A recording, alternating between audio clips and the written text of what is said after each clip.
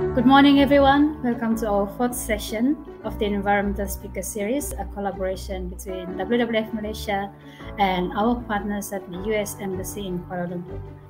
In today's session, we will explore a topic that has been in the news lately here in Sabah, and that is carbon. More specifically, can carbon mitigation reduce the impacts of climate change?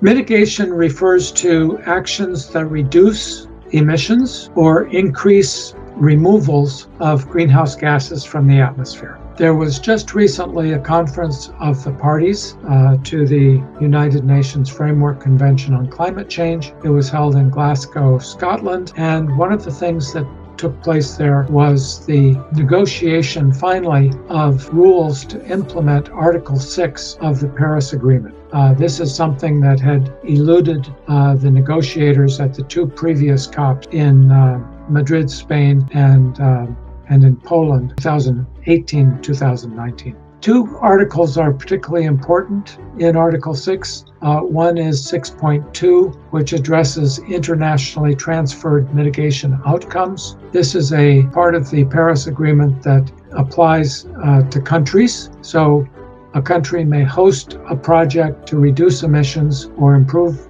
increase removals, and transfer the benefits to another country. Article 6.4 complements that provision by allowing the crediting and trading of mitigation activities by public and private entities that are authorized by a party to the convention. Uh, the Paris Agreement ambitions to limit global warming to 1.5 to 2 degrees will not be met unless there is deep decarbonization among uh, the transportation sector, industry, uh, energy, and so on.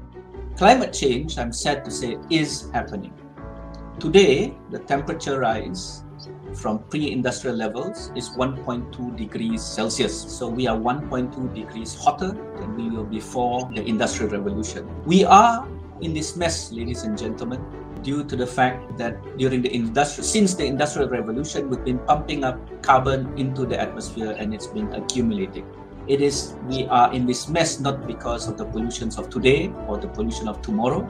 It has been it was created during the industrial revolution and mostly emitted by countries in the northern hemisphere all predictions show that the highest sea level rise in Malaysia will be in Sabah, in the northern and eastern coast of Sabah the best thing we can do for our children is not hope for them to solve our problems. That is the best thing. And I, every time I hear someone on stage tells me, you know, we're going to educate our children and hopefully they'll be able to solve this problem, that is rubbish. You are going to hand them a disaster that they can't avoid. By the time our children come of age, where they'll be in a position to solve things, your our problem will be unsolvable.